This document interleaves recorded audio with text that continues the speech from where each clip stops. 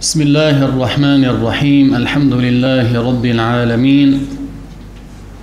وصلى الله وسلم على سيدنا محمد سيد الأولين والآخرين. وعلى جميع إخوانه من النبيين والمرسلين. وآل كل وصحب كل ومن تبعهم بإحسان إلى يوم الدين. اللهم علمنا ما ينفعنا وانفعنا بما علمتنا وزدنا علما يا رب العالمين All praise is due to Allah and may Allah raise the rank of Prophet Muhammad peace be upon him and protect his nation from that which he fears for them Dear brothers and sisters in Islam, let us first have the proper intention in our hearts to attend the lesson for the obedience of Allah subhanahu wa ta'ala. Insha'Allah ta'ala, tonight we'll be talking about the last chapter amongst the chapters of purification. And starting from next week, insha'Allah Azza wa Jal, we'll be talking about the chapter of prayer. We'll talk about the times of the prayers, the dislike times, and the integrals of the prayer, the invalidators, the conditions. So we talk about requisites and prerequisites. We talk about also the prayer of the traveler, how it is performed, the prayer of fee, the prayer for rain, the prayer for eclipse of the sun or the moon. We'll talk about all these and the funeral prayer as well. All these will be discussed, inshallah, explained in the chapter of prayer. But inshallah, we'll talk tonight about the last chapter of the book of purification. The judge, Abu Shuja', may Allah raise his rank, in his book Al Ghaya wa Taqrib, which is a concise summary for the Islamic rules pertaining to purification, prayer, zakah, pilgrimage, fasting, and the dealings as well. According to the school of Imam Shafi'i, may Allah raise his rank. He said about this chapter the vaginal bleeding. Three types of blood exit from the vagina the blood of menstruation, that of postpartum bleeding, and bleeding due to sickness. He then said menstrual blood is blood that normally exits from a woman's uh, vagina as a sign of having good health due to a regular cycle, monthly cycle, and without being caused by childbirth. So when he said as a sign of having good health, he excluded the bleeding due to a sickness that has different rules. And when he said without being caused by childbirth, he excluded the postpartum bleeding, which has also its rules. So he's talking about the menstrual blood, which is normally a regular thing that happens in a monthly cycle. It's a sign of having good health. He said it is usually black he means by this dark red in color and is pungent. It could have different colors as well, like the red and the light red as well, the yellow, all these colors are amongst the colors of the blood of menstruation. So it's not a normal discharge, it's a type of blood that exits on regular basis, monthly basis, and that's a sign of having a good health. So every month, a lady would see this bleeding for several days usually, and that's a sign of having a good health. Now the minimum, now we're going to talk about this not from medical perspective, rather from the rules pertaining to religion. Because there are rules that pertain to the menstrual bleeding which one has to learn. The scholar said the minimum for the menstrual bleeding is 24 hours. Keep that in mind. Any bleeding that is less than 24 hours cannot be classified as a menstruation, the menses. It has to be at least 24 hours. The maximum is 15 days. That means it cannot exceed 15 days. So 15 days is the maximum. Any bleeding within the 15 days is classified as menstruation. It could be 10 days, could be 15 days. Some ladies would experience the menstruation for 15 days. Then for the rest of the month, another 15 days purification. So it will be pure. So purity for 15 days and bleeding for 15 days. It could be for 10 days and the rest of the month is purity. It could be five days. It could be less, could be more. Now the minimum is 24 hours, the maximum is 15 days, and what is common amongst most women is to see the menstruation for about six or seven days, as the judge Abu Shuja mentioned. And we did mention that there is no hadith of the Prophet stating that the minimum is like that, the maximum is like that, and that is what is common is like that. However, Imam Shafi'i radiallahu anhu, uh, through asking women, that surveys you can say, he found out that that's the case. So the minimum is 24 hours, maximum 15 days, and what is most common is six or seven days. So when the lady is in her menstruation, she cannot pray. We're going to talk about this. She cannot fast as well. How does she calculate the 24 hours? It could be continuous bleeding and it could be interrupted bleeding, but the sum of the bleeding periods will add up to 24 hours. So if she sees the blood for six hours every day, so on the first day, six hours, the following day, another six hours, that's 12, then another six hours on the third day, that's 18, then on day four, another six hours, that adds up to 24. Once she calculates the amount of bleeding as making 24 hours, she knows that this is period, this is menstruation. That's the menstrual bleeding. If she prayed between the two bleeding intervals, that prayer is invalid. Although this is what she has to do in the first place, meaning if she has bleeding, let us say from 6 o'clock in the morning up to 12 o'clock at noon time, six hours. Then the bleeding stopped completely. What does she do in that case? She would clean herself, make wudu and pray Zuhr, Asr, Maghrib, Isha. Then the following day, she bled for another six hours from 6 o'clock to 12. When that stops, she would also clean herself and pray for the rest of the day then the third day, then the fourth day. On the fourth day, when she completes 24 hour bleeding interval, that's when she needs to have the purificated bath in order to be allowed to pray. Now, then on day five, on day six, any bleeding will affect her situation, so she would stop praying. And when she becomes clean, she would have purificated bath and she would continue doing as such up to 15 days, which is the maximum period for menstruation.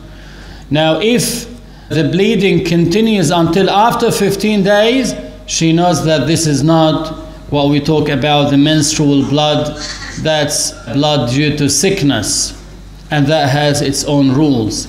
So then, after 15 days, despite the bleeding, she would be ordered to pray each prayer. And for each prayer, she would clean herself up, perform wudu, and pray. So she would do this for each prayer. That's uh, something specific for the bleeding due to sickness. We said that the scholar said the minimum age for seeing the blood of menstruation is nine lunar years. Nine lunar years. And the minimum period for purity, which is between two menstrual intervals, is 15 days. That's the minimum, and there is no maximum for it. That's why the Judge Abu Shuja' mentioned here that the minimum duration of menstruation is a day and a night. He means 24 hours. Its extent is 15 days. The average cycle is normally six or seven days. And the minimum duration for postpartum bleeding, which comes after birth, after she delivers the baby, it could be for one moment, that's the duration of the postpartum bleeding. It could go up to 60 days. What is most common is 40 days.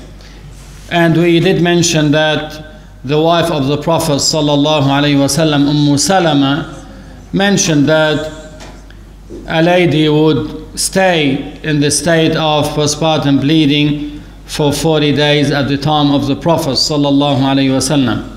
They used to experience the postpartum bleeding for 40 days, and that's what is most common these days, even up to 40 days.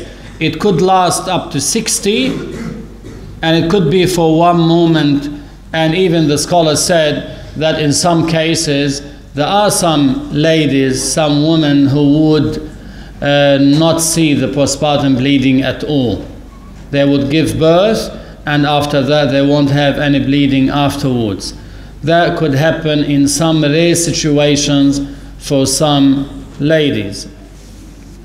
So the minimum duration for postpartum bleeding is one moment. Its extent is 60 days, and the average experience is normally 40 days. The minimum purity between two menstrual periods is 15 days and it has no maximum limit. Meaning a lady could see the period once a year. She could see it once in two years. And she might see the period just once, then afterwards she won't see the menstruation for the rest of her life. This could happen as well. That's why the scholars said that it has no maximum limit. It has no maximum limit. And they said that between two menstrual periods, why? Because between postpartum bleeding and the menstrual bleeding, it doesn't have to be 15 days. So if she sees the postpartum bleeding for 60 days, then she becomes pure for a couple of days, then she sees the bleeding again and it goes up to 24 hours and more, that will be classified as menstruation in that case. Now, why do we learn about this? Because many women who are uneducated Islamically about these matters, once she sees the blood, she might stop praying and fasting without knowing what type of bleeding that bleeding is. So, without knowing, without learning, she would just stop praying. And sometimes when she becomes clean, after let us say a couple of hours from bleeding, she would not pray and she would wait till the following day without praying. She can't do this. And she can't say, yeah, because I know my normal habit would go up to six days. Now, maybe this month has changed. Maybe this month is different. That's why whenever the bleeding stops, if it's before 24 hours, she would clean herself up perform wudu and pray. If it's after a 24 hour bleeding interval, then she has to have the purificated bath and pray. She can't stop praying in that case. If she prayed between two in an unbleeding interval, which is between two bleeding intervals, she prayed between them, then that prayer is invalid. If she fasts between these two bleeding intervals as well, the fasting is invalid. Let us say a lady became pure after five days and she had the purificated bath and she started praying and fasting. That's what she has to do. Then on day 10, which is after five days, she saw the blood again for a couple of hours and it stopped, let us say. That means from day 1 till day 10, this whole period is classified as menstruation, including the non bleeding interval. So if she uh, fasted day 7, 8, 9, for instance, that fasting is invalid. She has to make them up. And if she had prayed in that period of time, the prayer is invalid as well. That's why they have to learn about these matters as well. Then he mentioned about pregnancy and he said that the minimum duration for pregnancy is six months, the maximum duration is four years, and the most common duration is nine months. So, up to these days, you might find uh, some ladies who would remain pregnant for six, seven, eight, nine. That's nine is most common months. Uh, up to four years, that could happen. In the past, the neighbor of Imam Malik radiallahu anhu, one of the righteous and trustworthy people called Muhammad ibn Ajlan, his wife gave birth to three children in 12 years. She carried each one of them for four years. So, three kids in 12 years. That could happen, that's the maximum for it. Now, inshallah ta'ala, we'll talk about what is forbidden if one is in a state of minor ritual impurity if one is in a state of janaba, that's a major ritual impurity due to sexual intercourse or the emission of the mani. And if the lady is in her menstruation period or the postpartum bleeding period. What is forbidden upon one in that case? The judge Abu Shuja' mentioned that eight things are forbidden because of menstruation and postpartum bleeding, the prayer, the fasting, recitation of the Quran, touching and or carrying the book of the Quran, entering the mosque, circumambulation that is around the Kaaba, sexual intercourse and the enjoyment of what is between the navel and the knees. These eight matters are forbidden due to menstruation and postpartum bleeding. Now, regarding the prayer, as he mentioned, because the Prophet ﷺ said to a lady, when you have your period, you stop praying. And there is a scholarly consensus that the menstruating lady cannot pray. So, when she is in that situation, and also, our Lady Aisha, may Allah raise her rank, mentioned that at the time of the Prophet wasallam, whenever they used to have their period, then we used to be ordered to make up the missed days of fasting, and we never used to be ordered to make up the missed prayers. Now, why there is a difference between the prayers and fasting? because prayer is something that is performed every day. So if she were to be ordered to make up all the missed prayers, so imagine in every month seven days, there will be a hardship for them. For that reason, Allah subhanahu wa ta'ala relieved women from making up the missed prayers, but they are ordered to make up the missed days of fasting, as our Lady Aisha radiallahu anha mentioned. So prayer, she cannot pray, fasting, she cannot fast. Third, the recitation of the Quran. Because the Prophet sallallahu alaihi wasallam said in the hadith, لا يقرأ الجنب ولا الحائض شيئا من القرآن narrated by Abu Dawood and At-Tirmidhi لا يقرأ الجنب ولا الحائض the menstruating lady and the one who is in a state of janaba I'll repeat when one is in a state of janaba that means it's a major ritual impurity due to sexual intercourse or uh, the emission of the mani. In that case, one is classified as in a state of major ritual impurity. We call this janaba. So the Prophet ﷺ said, لا يقرأ الجنب ولا الحائض شيئا من القرآن. the one who is in a state of janaba and the menstruating lady should not read anything from the Quran. So with the intention of recitation, they cannot recite Quran. Now, however, there are some exemptions. There are some exemptions the scholars mentioned about them. They said what she recites in the morning and in the evening for the purpose of seeking protection by some verses of the Quran, such as Ayat al Kursi, Al Falaq, and An Nas that's an exemption. That's an exemption.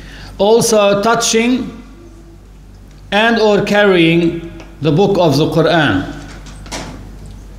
So if Allah subhanahu wa ta'ala said لا يمسه إلا المطهرون meaning no one is allowed to touch the mushaf unless he is in a state of complete purification and that's when he has wudu and not in a state of major ritual impurity.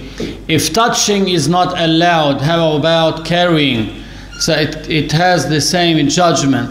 So the lady that is menstruating or in the postpartum bleeding period is not allowed to carry the mushaf as well, even if it's uh, put in a cover or bag, she cannot carry it. She cannot carry it when she is in that situation and entering the mosque. So, whether she's going to go into that mosque to sit down or to move from one place to another, keep moving, she's not allowed to do this. And this judgment applies to the one who is in a state of major ritual impurity. We call it janaba. And Allah mentioned that in the Quran. Allah Ta'ala said, وَلَا جُنُبًا إِلَّا عَابِرِي سَبِيلٍ حَتَّى تَغْتَسِلُوا So if one is in a state of major ritual impurity, he is not allowed to go and sit inside the mosque unless he is crossing inside the mosque to go to the other side. In some old mosques, especially in Lebanon, you find some of these mosques. A person would go from one door and exit from the other to take a shortcut to go to a different area. So, because the mosque is huge, and they will take a shortcut through the mosque. So they enter from one door and they exit from the other door. That's called abiri sabil, crossing, passerby. They're not resting, they're not sitting. So that passerby was going into that mosque from one door, exiting from the other, that is exempted, that is allowed. But for the one to be in the state of major ritual impurity, janaba, to sit inside the mosque, that is forbidden, as well as to keep moving from one place to another inside the mosque, even without sitting, that is not allowed as well. So let us say he's uh, going inside the mosque, getting something, then moving from one place to another, as if he's working there, for instance, but he is in that state, he is not allowed to do so in that case. And uh, the scholars like Imam al Rafi'i and others said this judgment of entering the mosque and fearing that it would be contaminated with blood does not apply only to women when they are in the menstruation period or the postpartum bleeding period. They even said if someone suffers from incontinence of urine, the incontinence of urine, that means continuous emission of urine. So such a person might contaminate the mosque. If he has that fear that he might contaminate the mosque, he's not allowed to go into the mosque in that case. If one secures that he won't contaminate the mosque, then he can go inside in that case. Also, circumambulation, which is around the Kaaba. That is as well forbidden for the menstruating lady and the lady in her postpartum bleeding period.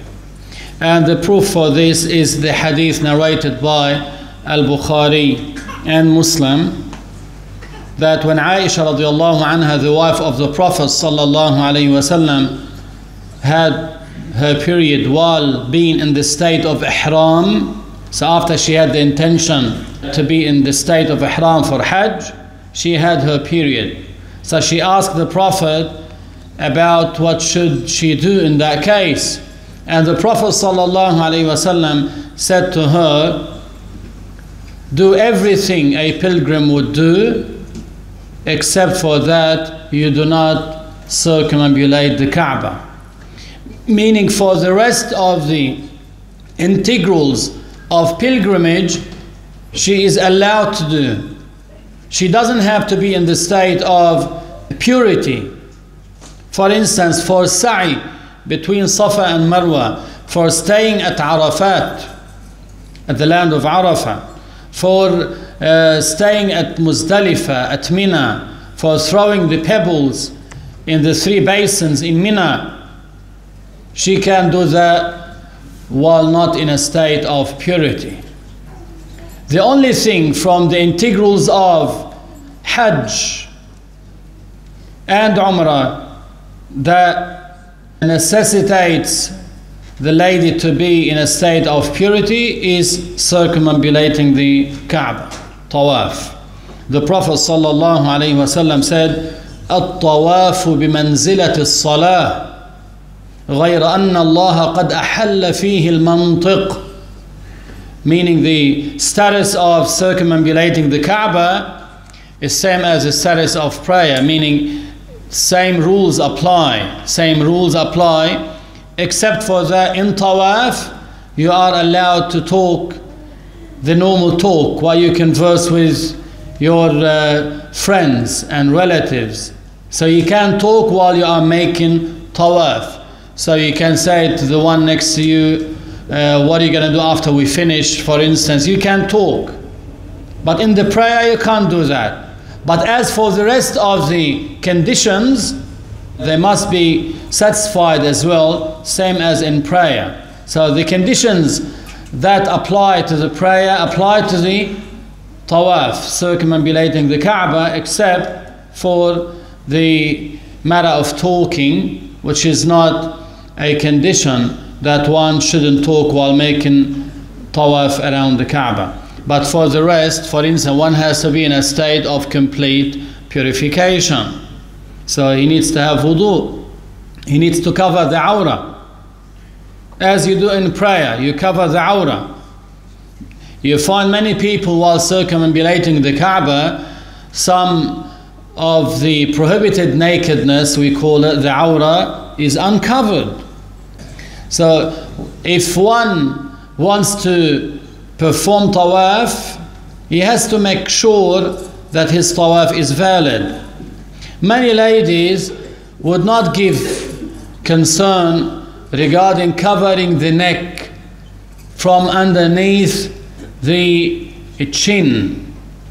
This here underneath the chin to the neck, that's part of the neck. This is a prohibited nakedness by consensus. So all the scholars said she must cover this here under the chin, this part here, top of the neck, that's part of the awrah. It must be covered. So if a lady wants to circumambulate the Kaaba, she has to make sure that the prohibited nakedness is covered. So that's one of the conditions. So only for tawaf, out of all the integrals of Hajj, only for tawaf, the lady has to be in a state of purity. And she has to have wudu as well. If someone was circumambulating the Kaaba, let us say he made three rounds, then his wudu becomes invalidated, he can't continue the other four without wudu. He has to go, perform wudu, and come back. Now, whether he needs to resume from the fourth round or to start from the beginning, the scholars held different sayings regarding this matter in this case. But one has to be uh, in a state of purity. So while having wudu.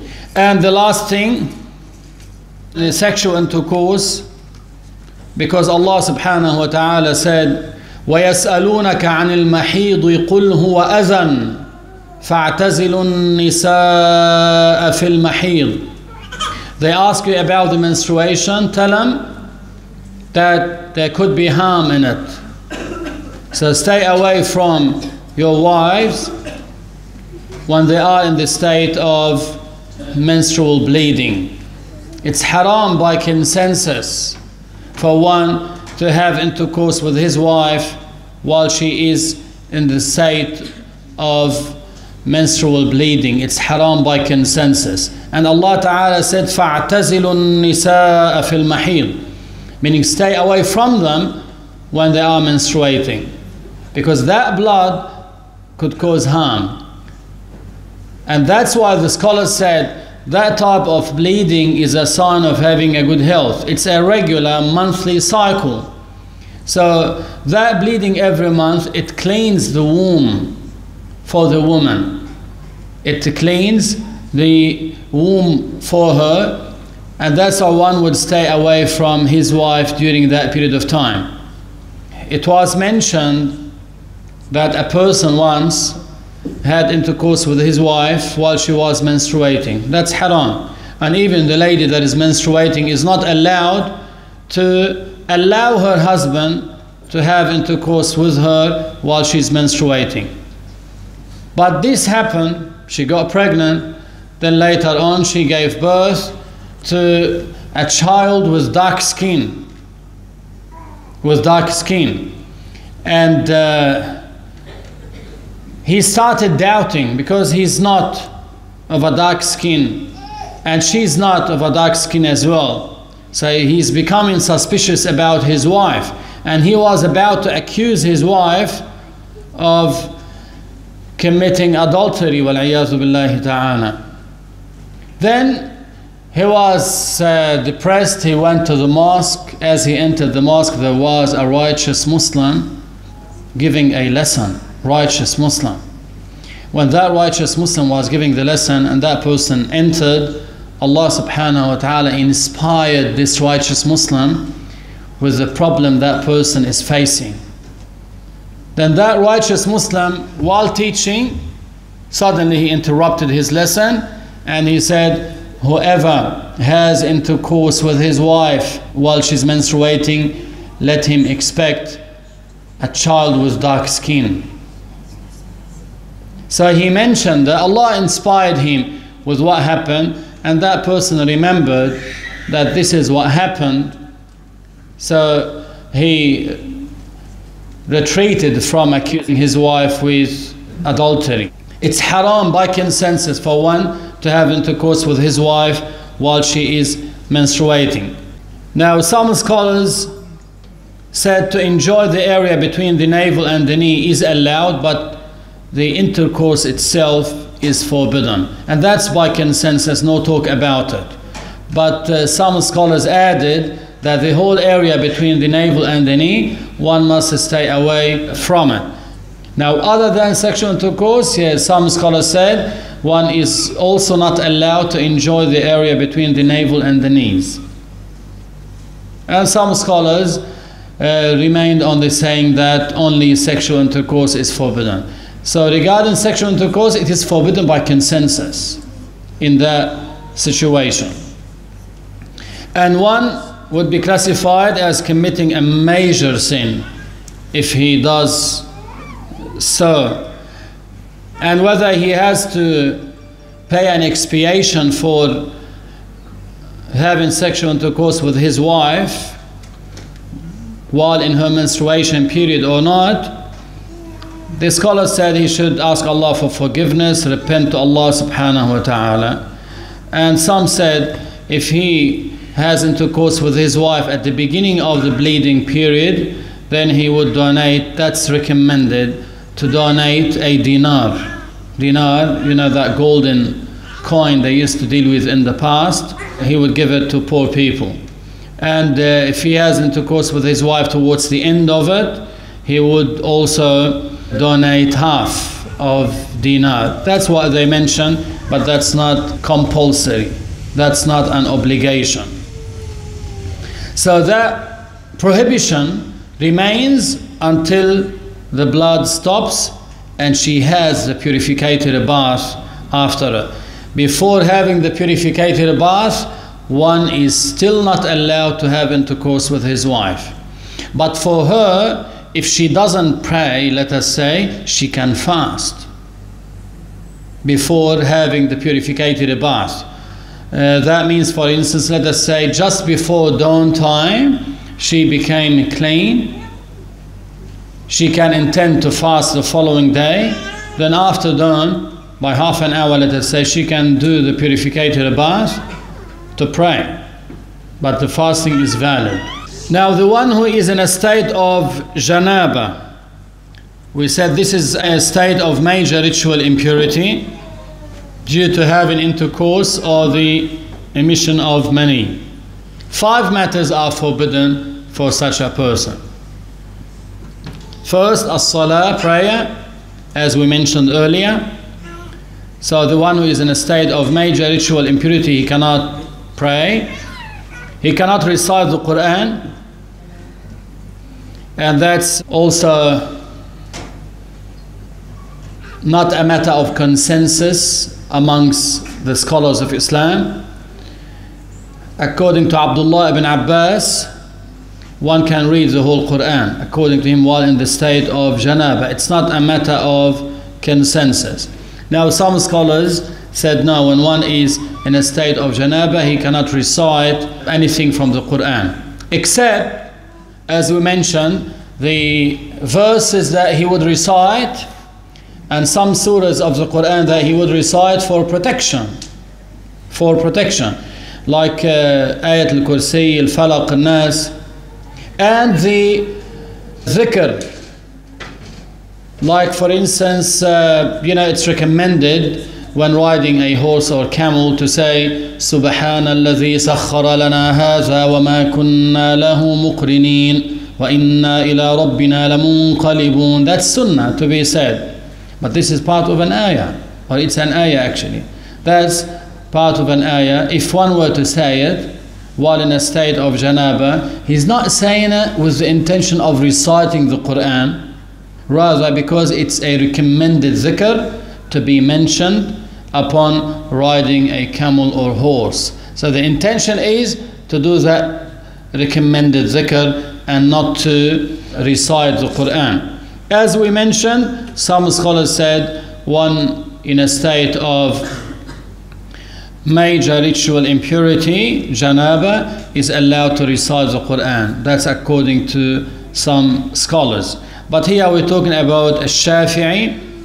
He said prayer, reciting the Quran, touching and or carrying the mushaf. He's not allowed when he's in that state. The exemption is the hirs, you know, the hirs one would wear for protection as well.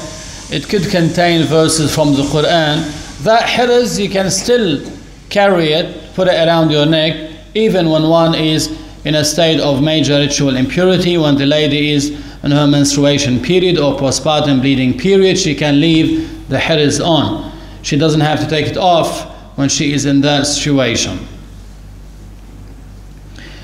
And a tawaf, circumambulating the Kaaba, as well, and staying in the mosque. One cannot do this as well. Now the Prophet ﷺ said in the hadith, إني لا أحل المسجد لحائض ولا جنب. Now this hadith means I do not permit one to stay in the mosque if one is in the menstruation period, that's pertaining to ladies, or in a state of janaba. He is not allowed to stay in the mosque in that state. Now, the one who is in a state of minor ritual impurity, meaning he is not in a state of major ritual impurity, and here we are referring to the one who doesn't have wudu. So, before performing wudu, three matters are forbidden for such a person salah, which is a prayer, tawaf, circumambulating the Kaaba, and touching and or carrying the mushaf. So these three matters are forbidden for the one who is in a state of minor ritual impurity. And the Prophet ﷺ said, لا يقبل الله صلاة بغير طهور and that's in reference to any type of prayer whether it is the five obligatory prayers whether it is a recommended prayer and whether it is the funeral prayer and any other prayer and you know the funeral prayer it doesn't have ruku' or sujood but still one needs to have wudu in order to perform this type of prayer. So any type of prayer, you need to have wudu. For any type of prayer, you need to have wudu. So these are the three matters that one should stay away from if he doesn't have wudu. Prayer, he needs to make wudu in order to be allowed to pray. Tawaf, touching and carrying the mushaf. One has to have wudu as well. By the support of Allah Azza wa we have concluded talking about the whole chapter of purification from this book. Inshallah, starting from next week, we'll be talking about the chapter of prayer. And we'll start talking about the times of the prayers, inshallah, and how Angel Jibreel alayhi told the Prophet sallallahu alayhi wasallam about the times for each prayer inshallah azza wa jal. And Allah knows best